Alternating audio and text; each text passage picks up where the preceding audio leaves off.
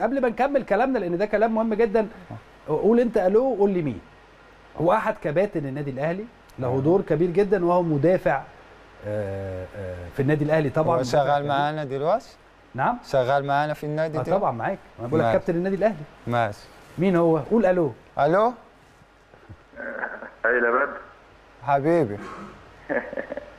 لسه ما عرفش الصوت ولا إيه؟ لسه ما سامعش كويس. طب استنى كده. هاي يا بدر حبيبي يا سعد ده؟ سعد صح؟ سعد. حبيبي ازيك يا بدر الحمد لله يا حبيبي انت عامل إيه؟ الحمد لله منور قناة الأهلي ومنور الدنيا كلها. حبيبي. يا كابتن سعد يا يا منور الحقيقة يعني اولا وحشني جدا جدا جدا ولكن أنا دايما آه، في مثل هذه الأمور يا بدر دايما آه، اللاعبين الكبار اللي هم كباتن الفريق آه. اللاعبين الكبار مقاما يعني بيبقى لهم دور كبير جدا جدا. أنا بوجهة نظري إن من غير ما أشوف أنا ما كنتش معاكم ولكن أكيد آه، سعد سمير له دور كبير جدا جدا آه، ممكن ما يكونش لعب في المباريات ولكن دوره واضح جدا خارج الملعب. ودموعه كانت غالية علينا قوي يعني إن إحنا نشوف دموع سعد سمير آه، في- بعد المباراة الأخيرة. أعتقد ده كان حاجة مهمة جدا. بيمثل. لك إيه بقى وجود واحد زي سعد؟ مش هو وكابتن الفريق في النادي. هو هو بص مش مش سعد الحمد لله النادي الأهلي متواجدين فيه كباتن. آه. ممكن أربعة ولا ستة ولا. ممكن سناوي أيمن وليد سليمان سعد سمير آه، في سولية في علي معلول. آه، أنت لما بتبص على لعيبة كبار زي دول والطريقة اللي بيتكلموا معاك قبل كل ماتش ولا من خلال الماتش ولا الطريقة اللي يحفزوك بها دي حاجة حاجة اللي اللي بتفرح وحاجة الحمد لله أنا لقيتها من أول يوم نزلت على النادي الأهلي. هو كان من هو كان من بين الناس اللي رحبوا بي كبير هو سعد سمير ولا الكابتن السناوي. والحمد لله ده ده الحاجة اللي اللي مخلينا من لحد الآن أننا بنحقق نتائج كبيرة الحمد لله. يا نجم الحمد لله على السلامة والف ألف مبروك. الله يسلمك كابتن إسلام الله يبارك فيك وبشكرك طبعا على التغطية للبطولة كلها وللفرقه ربنا يخليك. وكنت متألق طبعا كعادتك و متألق بيكوا يا حبيبي وباللي أنتوا عملتوه وبدوركم الحقيقة الكبير جدا جدا. مهم جدا يا سعد إبراز دور زي دورك. أنا وجهة نظري إن الدور بتاعكم كان له أنت والكباتن الكبار اللي موجودين في الفرقة آه، له دور كبير جدا جدا في حصد برونزية كأس العالم للأندية. والله يا كابتن إسلام يعني الكلام اللي حضرتك بتقوله كلام مظبوط جدا بس أنت عارف يعني إحنا في مصر لما أنت ما بتلعبش أو بتبقى بعيد. بيبقى مش قصة تهميش بس الناس ما بتبقاش حاسة قوي أو مش مهتمة بال... طبعا التركيز كله على المجموعة اللي بتلعب لكن إحنا في النادي الأهلي ما تربناش على كده تربينا إن ده نادينا وفرقتنا و... أيوه.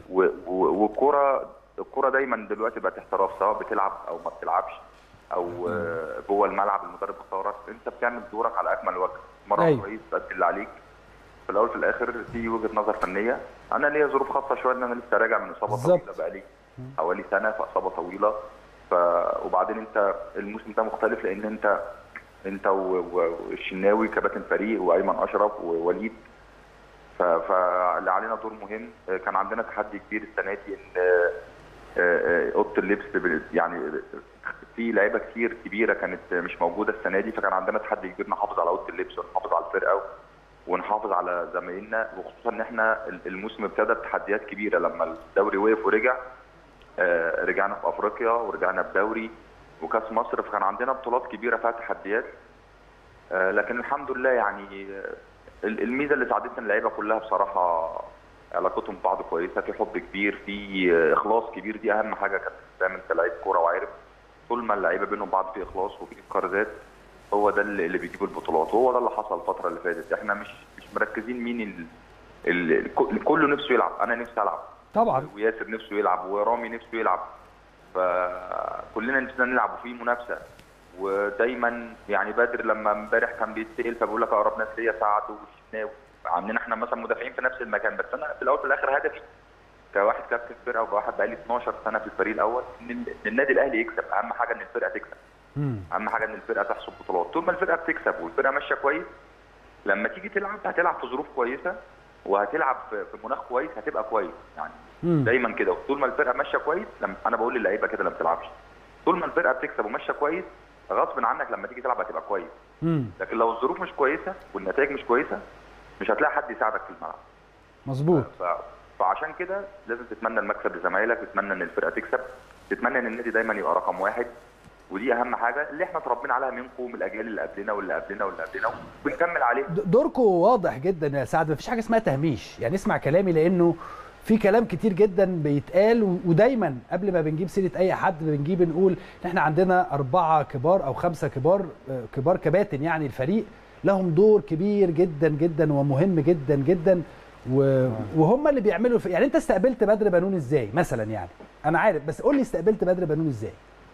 والله يا كابتن يعني بدر أول ما جه إحنا طبعا لما بنيجي لما بيجي لعيب جديد بن- بنبتدي برضو بنسأل عنه بنسأل عن حتى إحنا بنتسال عليه اللي لعب معاه اللي لعب ضده اخلاقه إيه شخصيته إيه. آه، آه، مناسب للنادي أو مش مناسب ده نظام النادي على طول. طبعا. فبدر لعيب معروف بالنسبة لنا لعيب نادي كبير زي نادي الرجاء المغربي ولعيب منتخب المغرب. وجاي لك وهو بيلعب قبل نهائي افريقيا. فاتفرجنا عليه كتير وعرفنا وعرفنا شخصيته لكن أزارو آه، كلمني على بدر ووليد أزارو ووصاني عليه وقال لي خلي بالك من بدر شخصية هادية شخصية كويسة جدا. آه، بيحب الكورة وبيحب الشغل إن هو جاي يشتغل. أيوه. آه، لكن هو ازارو قال لي إن هو هادي بس لما لما جه لقيته هادي بزيادة. يعني هادي قوي آه ما بيتكلمش خالص. يعني أنا بقعد انكشه كده كل فترة بس هو يعني بدر من اللعيبة الهادية بزيادة في ال- في ال- في التمرين في البتاع. آه. آه، في- في- حتى في المعسكر.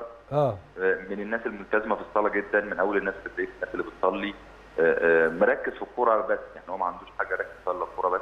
آه. فطبعا آه، أنا أول ما استقبلته قلت له بدر يعني آه، يعني ما تتعبناش بقى يا عم بدر. فقلت له أهم حاجة لازم تفهم إن الناس كلها هنا طبعا. هتساعدك الناس كلها هنا هت- هتقف جنبك و... و...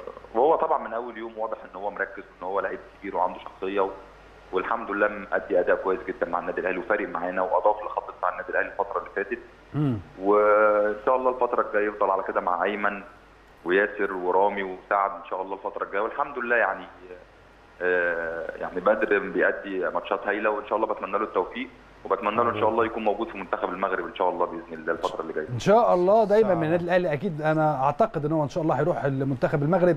ولكن يا سعد المواقف اللي بتحصل بقى بينك وبين كل اللاعبين يعني خلال الفترة السابقة خلي بالك سعد ده ده أنا دايما بقول له بعد مني اسا تقول له إيه؟ خليك بعيد عني خليك بعيد عني؟ آه، ليه؟ خليك بعيد ما هو دايما سعد بص هو سعد آه، بتلاقيه ممكن تكون أنت صاحي الفطار ولا كده ممكن أنت ما نامش كويس ولا كده بس بتلاقي سعد على طول بيضحك. آه في الفطار بالليل في التمرين أنت زعلان ولا كده بس سعد آه أنا بالنسبة لي لازم بيكون لاعب زي سعد في, في المجموعة. علشان هو آه من غير أنه كابتن الفريق ولا كده بس بيخلق جو في الفريق. فاهم؟ دايما بي بتلاقي لاعب زعلان من أنه ما بيلعبش مثلا. آه ما بيلعبش ولا كده. أول أول لاعب اللي يروح يتكلم معاه بتلاقيه هو سعد سمير.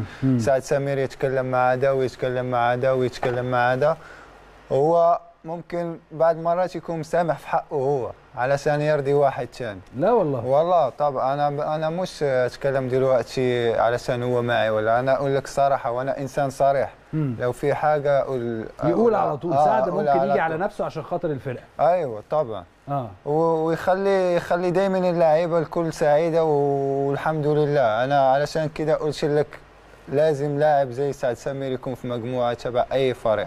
آه. وأنا لي الشرف أنني كنت صغير وكنت أتفرج على سعد سمير والحمد لله. دلوقتي أنا أنا أتمرن معاه وألعب معاه ده شرف كبير لي. طب يعني بقول لك يا سعد أنت كبرت قوي ولا إيه؟ إيه اللي حصل؟ كلام كبير. هو لا هو بدر بس محترم بدر آه. محترم بزيادة فأنا بشكره طبعا على الكلام ده. بس هو بدر قال لي إن كأس العالم الانديه 2012 هو كان صغير شوية. آه. آه. وأنا كنت بلعب كأس عالم انديه 2012 و13 مع النادي الأهلي. طبعا. بدر برضه مش كبير بدر لسه 26 أو 27 سنة. آه. فيعني كأس العالم من لو قلنا من 8 سنين كان عنده لسه 19 سنة فبدري لسه قدامه عمر طويل إن شاء الله في الملاعب يعني. أيوه. أنا ال- عجزت برضه يا كابتن إسلام أنا لما عجزت إيه يا عم؟ أنت هتمثل ولا عجزت ولا عملت؟ ما تقعدش كان كريم نتفت لما لعبت كأس عالم الأندية أول كأس عالم كان كريم نتفت و... و... وطاهر وأكرم لسه عندهم 16 و15 سنة. كانوا لسه بيجروا ورا العربية. آه. كانوا لسه بيقفوا قدام البتاع ويشجعوك يا سعد يا سعد يا سعد. لا يعني بسم الله ما شاء الله يعني روح جميلة جدا يا بدر وسعد. اتعلمت بقى وعلمتوا إيه يا سعد طيب قبل ما يحصل اي حاجة هل في اغاني والشعبي والحاجات دي ولا انت بطلت لا لا لا ده؟ هو بدر هادي بدر ملوش في الاغاني قوي بس هو خالص ابتدى بقى يتفرج على مسلسلات عربي وابتدى بيتفرج على إيه على المسلسلات العربي والافلام العربي وابتدى بقى ي- بس كده يتابع يتابع الحاجات بتاعتنا وبعدين هو هو آه. بيتكلم عربي كويس برضه يعني أنا الحمد لله ده أنا قلت النهارده. هتبقى صعب لا لا بيتكلم عربي كويس هو هو من شخصيته كمان هادي يا كابتن يحب البيت آه. يحب أسرته وابنه بيقضي معظم الوقت في البيت. ف... فأنا إيه ما باجيش عليه كتير يعني. عزمته ولا لسه يا سعد؟ عزمني عزمته بس ما جاش. عزمني بس أنا أنا قلت لك يا سعد خليها بينا.